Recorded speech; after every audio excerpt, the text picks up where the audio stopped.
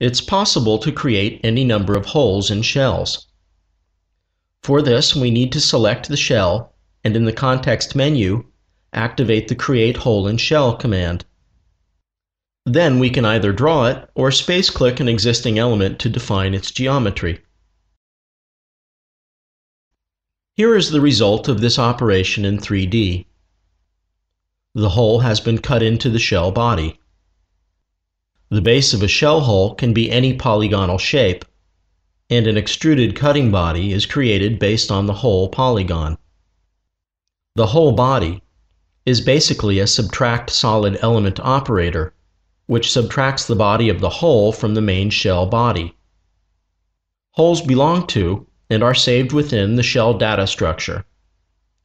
It is possible to create as many holes as needed for your design. Contours and holes can coexist in a shell, so for each shell we can create one contour and any number of holes.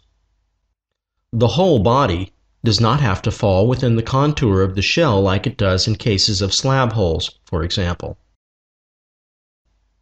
Shell holes can be created in the floor plan, in section or elevation viewpoints,